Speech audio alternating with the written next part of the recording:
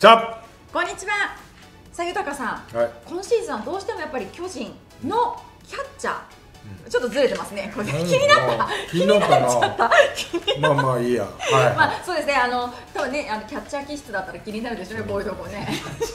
このなんかねちょっと隙間が嫌だなみたいな。な はい。けど。で？であの今年はねあの小林選手はい。だったり岸田選手が主戦というところで大城選手がやっぱり、ね、なかなかこのレギュラーをつかめずに今、2軍にい行っていると。でその中で阿部監督がそのメインは気分転換野球が楽しいなとかそういう原点に戻ってきてほしいというふうにお話しされて今、2軍でウィーラーコーチと一緒にあのウィラーは楽しいから、ね、楽しいそう多分そういうことなんだと思います。いやだけど楽しくなんないよ。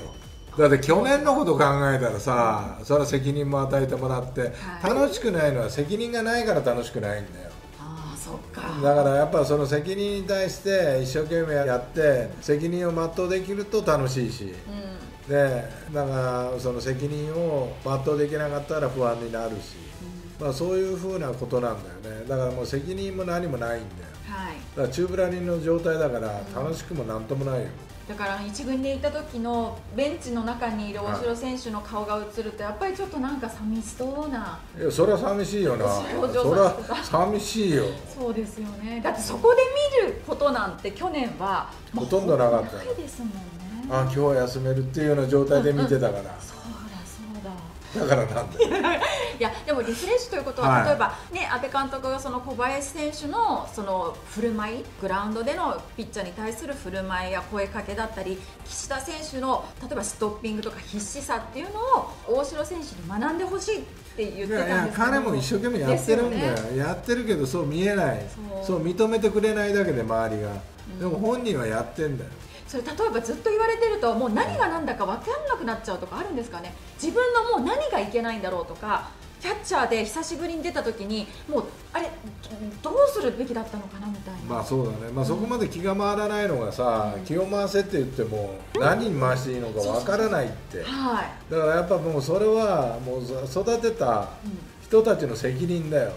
うんうん、だからそこまでやってないんだからあそこまでなるまでに。そうですよね。それで急にさ言われてもやっぱなかなか難しいと思うよね、ただその大城のいいところっていうのはやっぱり人にないバッティングがあったりだとかあーまあ阻止率も悪くないしね、うん。でまあリードそんなに悪いかなって思うけども、まあだけども、まあ、それを評価されてない、でもやっぱ打つしかないんだよね。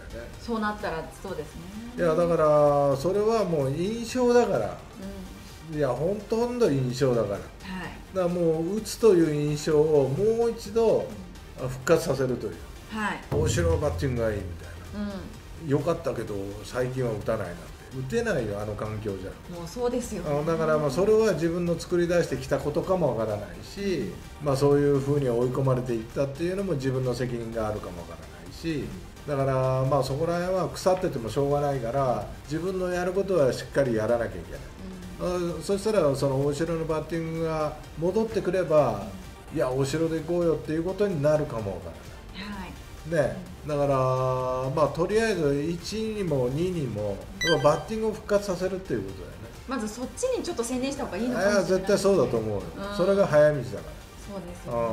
うん、あとは腐ってたって落ち込んでたって日にちは経っていくし、誰も手は差し伸べないって、だから自分でやっぱこう上がっていくしかないから,、はい。だから自分でこうポジティブになるようなことを見つけながら頑張るしかないな。そうですよね、でそういう意味でもやっぱりあのうんムードメーカーであり笑顔が可愛いウィーラーコーチと一緒にやることによって何かこうあ野球ってもう一回楽しいなとかリフレッシュできる部分っていうのもあるのかもしれないですね。楽しくはないよ。練習でいくら打ったって。ああそうかそれはやっぱもう試合でうん。打っての喜びを知ってるだけにそうですね。練習で打つのはねプロだから誰だって打てるよ。うんそうか。そうそう。だからまあ一刻も早く試合に出てはい、自分の一発で勝つとかはい。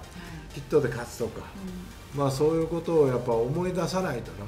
ですよね。うん。だから今、やっぱりね小林選手、岸田選手っていうそのライバルがいてそこよりも何か上に行かないとまた自分がメインで使ってもらうってことはないわけなのでライバルじゃなかったからね。いや本当に。そうなんです。だでもその時にる。じゃあ小林が何をしてたか。うんね本当にひたむきに出た時のためにとか。はい。じゃあ岸田が何をしてたかっていうとまあ同じよううにものを考えてて。でもそれを大城にやれっていう方が今んうん。ちょっと違うんじゃないのって思ってもやっぱりやらなきゃいけないところもあるしな、そうなんですよね。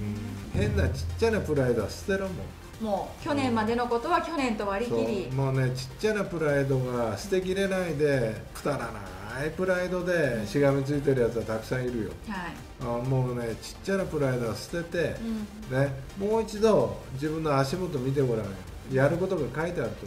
そうですね。思う、うん。だからそうだな。まあ酷だけども楽しくないとは思うけども楽しさを見つけるためにまずはそうした方がいい。なうん足元見てやるべきことをまず初心に戻ってというか。そうだな。うん。と思うよ。うん。ダメか。いやいや なんかあそうだなと思ってだもう去年までほぼ全ての試合マスクかぶってましたからね。まあだからあの、うん。どんな世界でもいるんだけども監督が変わったら、はい。やっぱレギュラーが変わっちゃったとかさ、それはいろいろいるよ。ただ大城っていうのはもう完全なるレギュラーという周りも認めてたしさ、はい。だからもう晴天の霹靂だと思うんだけども本当のレギュラーってどんな監督が来てもはい。使われるよ、うん。まあ、例えば坂本岡本っていうのはどんな監督が来ても使うよ。はい。いやだから大城は本当のレギュラーじゃなかったんだろうなって備わってなかったんだろうなっていう。だからそれを小さなプライドでいや俺はレギュラーだじゃなくて、あ足りないところはどこだったんだろうなと思って答えを見つけ出すとすぐ分かる。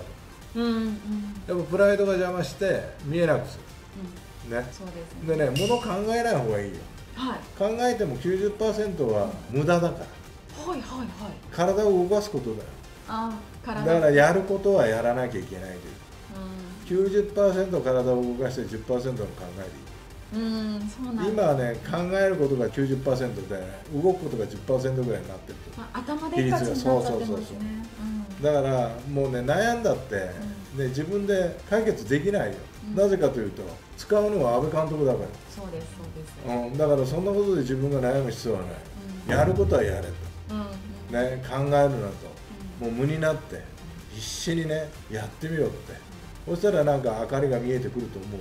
そうですよね、うんだもしかするとその今年の巨人現段階で首位にいまして非常に守り勝つという野球をやっているただその打撃という部分で打つという部分では非常にちょっと苦しい戦い方をしている得点という意味でただこの大城選手が何かを掴んで阿部監督がよし一皮むけたってなった時に大城選手がまた復活した時にまた巨人っていうのは変わって少しまた強くなるというか。まあ競争が激しくなるしな、はいで安倍監督も大城がを見捨ててるわけじゃないから。本当は彼をメインで主戦でいういやだからその気がついてくれとか、うん。いや使うにあたってこういうことが足りないから信頼できないんだよっていうことはあると思うんだよ、うん。だからそこをさしっかり信頼できるようにしとけばいいわけでしょ？そうですそうです。簡単なことだと思うよ。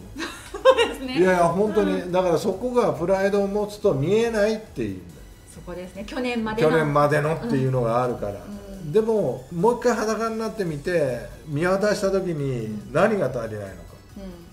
うん。でそういうことだと思う。うんうん。だからそこさえ分かれば早い話だと思う。そうですよね。だから自分がえなんでだろう今年俺じゃないんだみたいな、うん。まあ、そういう焦りからはい使われ方もえ俺のこと嫌いなんだとか。そうそうそうそうそうね自己嫌悪に陥ってみたいな、うんでそれがバッティングにも響いてきてそうそうえこういうまだ2点負けてる時にノーアウトランナーセカンドこれ引っ張っていいのか返しに行っていいのか分からねえその前にレフトフライ何にもできなくて終わってるみたいいやそれだったら最低セカンドゴロでも打って進めとけよみたいなうんうん思われたみたいないやだから気持ちがクリアとか頭がクリアじゃないとやっぱりね仕事しててもいい仕事はできないよ。はい。まずはやっぱり自分の気持ちそういうものを立て直した方がいい、うんだから普通もうね周りの意見だとか、い。そういうことはね考えない方がいい。うん。で小林がどうな岸田がどうだもう一切考える必要はない、うん。もう自分は自分キャッチャー。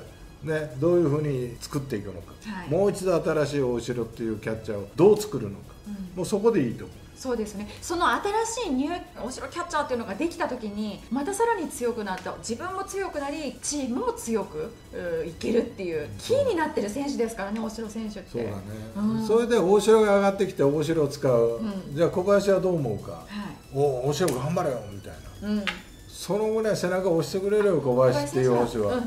まあ、岸田をうっとうしがるかもわかんないけどなんだろう。大城来ちゃったよみたいな、うんいやおだ思うかもわからないけど、まあ、岸田は若いしやっぱレギュラーになりたいからね、でもレギュラーを取ってた小林が一時期大城にそうさせられて、うんでも小林は大城頑張ってこいよってお前新しい姿俺しっかり見とくからさみたいな、はい。そんな感じで背中を押してくれると思うよ。大先輩がしてくれますよね、うん、そうそうそうそう、うん。だからまあ頑張るしかないな。そうですね。やっぱり結果そして勝負のね厳しい世界ではあるので、まあそううん、だね、プライドをね去年までのそれを置いといて何かこうね新しくなって戻ってきてくれるといいいですね。や戻ってくると思うよ、うんうんもうウィーラー頼むよ。ミイラのあの笑顔でね。ぜひ大城選手を笑顔にして戻してください。はい